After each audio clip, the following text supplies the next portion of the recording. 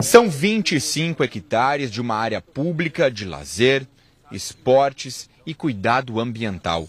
E que a partir de amanhã volta a receber visitantes. O Parque Municipal Getúlio Vargas, ou Capão do Corvo, é um dos mais visitados de Canoas. Cerca de 50 mil pessoas passam por aqui a cada mês, justamente por ser assim, rodeado de árvores e em meio à natureza.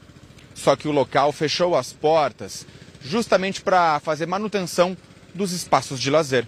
A reforma do parque começou quando um temporal causou uma série de estragos. Além de diversas árvores caídas, a fiação elétrica também foi danificada.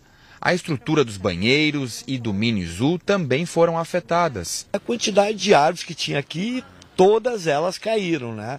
Era em torno de 150, ah, pelo menos, árvores, ah, a maioria delas com mais de 50 anos, que tombaram com um vendaval. Para substituir as árvores que caíram, foi feito um plantio de árvores nativas e frutíferas foram replantadas quase 500 árvores nativas, né?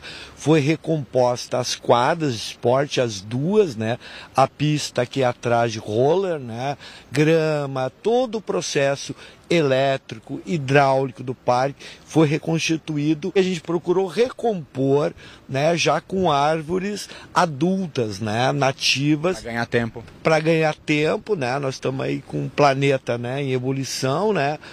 E, e, sem dúvida, né, nós esperamos que de, deixamos o parque novamente contento. O investimento foi de mais de um milhão de reais.